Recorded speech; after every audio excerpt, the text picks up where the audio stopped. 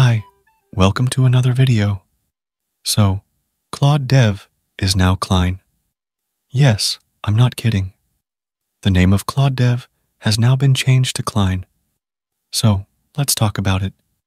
If you remember, Claude Dev hasn't received any updates for the last two weeks. I guessed that this was because a significant change was coming, and I was right. The next major release would change it to version 2, which generally marks a major shift for most applications. And now it has been renamed to Cline. This name change comes from the fact that it's no longer just for Claude Dev, because it can now use multiple providers, not just Claude. And I think that's great to see. So, if you guys watched any of my previous videos on Claude Dev, just remember, it's now called Cline. Anyway, the tool itself largely remains the same. By the way, the name Cline can be expanded to mean CLI and editor, which is why it's called Cline. Cline has also received a bunch of new features. So, let's talk about those, and then we'll test them out. Version 2 brings updates that significantly improve performance across other models, making it a great opportunity to give the extension its own identity. One major feature is that you no longer have to stare at loading spinners. Responses are now streamed directly into the editor with a yellow text decoration animation, allowing you to track Cline's progress as it edits files. It's like a line by line animation, which is cool to see. Beyond that, with the new streaming feature, you can now cancel mid generation and give Cline feedback if it's heading in the wrong direction. This gives you more control over tasks, resulting in faster, more accurate results. This is a great feature because now it's much more controllable, something I really wanted. Additionally, it now takes 40% fewer requests to accomplish tasks and has better performance with other models. This really shows what the developer has done to improve the tool. I've read the details, and previously, the extension relied heavily on the tool calling API feature that companies like Anthropic and OpenAI provide. This meant that models needed to be trained on tool usage, and the API also needed to support it.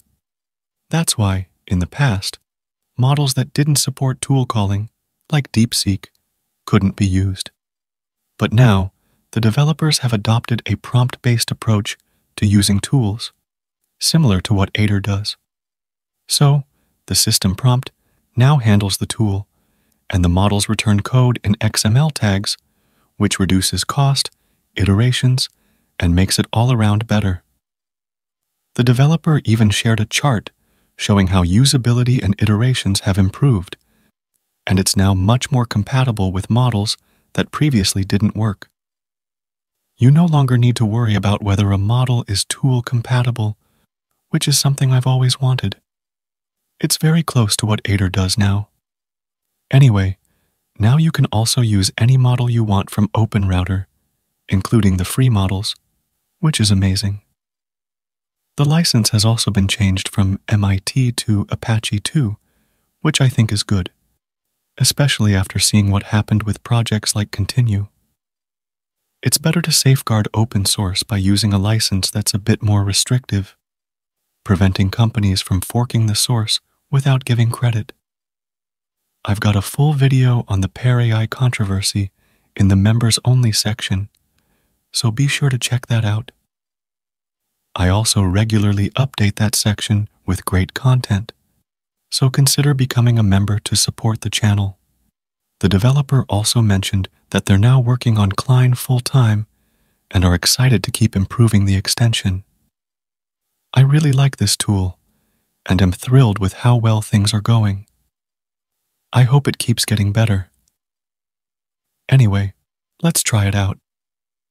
First, open up VS Code, go to Extensions, and if you already have Claude Dev installed, just update it. It should now say Cline.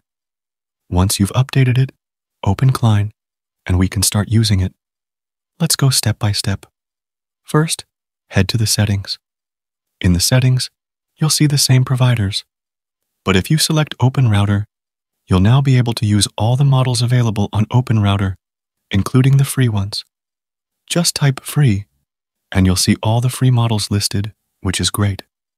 Beyond that, the settings remain the same. You can now also use DeepSeek with it for very low costs. I'll be using it with DeepSeek going forward. Plus, I still have that free $20 credit they gave everyone when they launched DeepSeek. I made a video about that too, if you remember, before they removed the offer. Anyway, to configure it, just select the OpenAI compatible API. Enter the DeepSeek API base URL, along with the model name and API key, and save it. You can also use it via OpenRouter if you want. Now, let's move on to the next features. We can check them out by asking Cline to do something.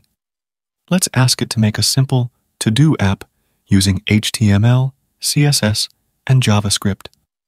All right, it's generating the code now. You can see that the code is streamed directly into the file on the right, which wasn't the case before. You used to have to wait for the full code to generate. Now it's much smoother, and there's even a nice animation. You can also cancel the generation midway if it seems like it's going in a direction you don't want. That's really handy.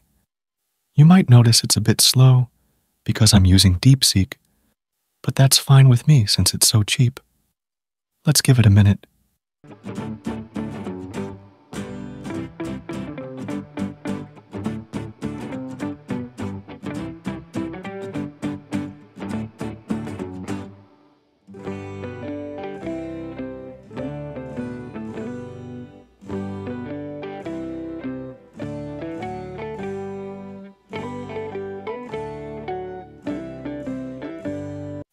Done.